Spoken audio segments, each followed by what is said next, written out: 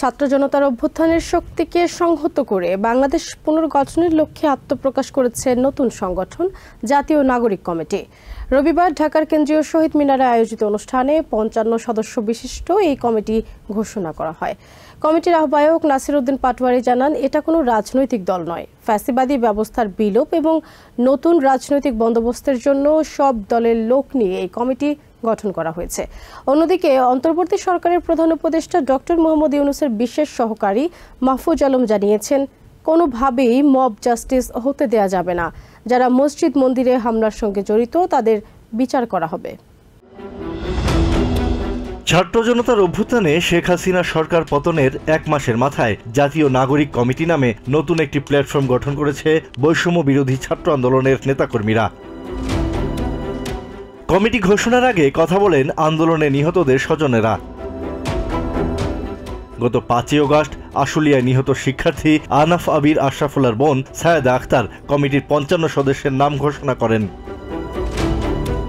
পরে কমিটির মুখপাত্র সামান্তা শারমিন সংগঠনটি গঠনের লক্ষ্য উদ্দেশ্য তুলে ধরেন।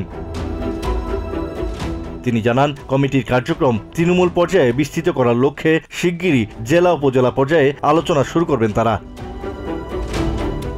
সদস্য সচিব আখতার হোসেন বলেন, ছাত্র জনতার আকাঙ্ক্ষা অনুযায়ী রাষ্ট্র পুনর্গঠন করাই তাদের মূল চাওয়া। আহ্বায়ক নাসির উদ্দিন পাটোয়ারি জানান, এই কমিটির কোনো দলীয় এজেন্ডা নেই। নাসিরুদ্দিন জানান, কমিটির সদস্যদের নিয়ে অনেকগুলো সেল করা হবে। ভূ রাজনৈতিক ষড়যন্ত্র সহ সব ষড়যন্ত্র প্রতিহত করা হবে।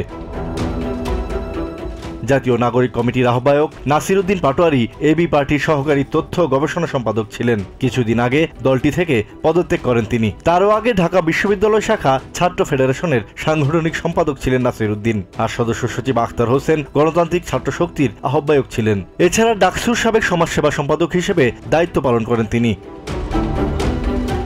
অন্যদিকে ঢাকার ফরেন সার্ভিস একাডেমিতে আয়োজিত সংবাদ সম্মেলনে প্রধান উপদেষ্টা ডক্টর মোহাম্মদ ইউনুসের বিশেষ সহকারী মোহাম্মদ মাহফুজ আলম জানান, মব জাস্টিসের বিষয়ে সরকারের অবস্থান পরিষ্কার।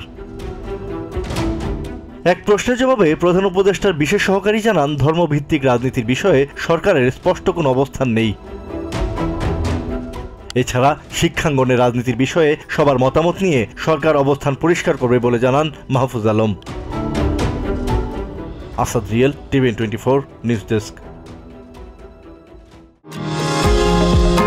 New York থেকে সম্প্রচারিত টিভিএন টোয়েন্টি ফোর টেলিভিশন, বিশ্বজুড়ে বাঙালির কণ্ঠস্বর।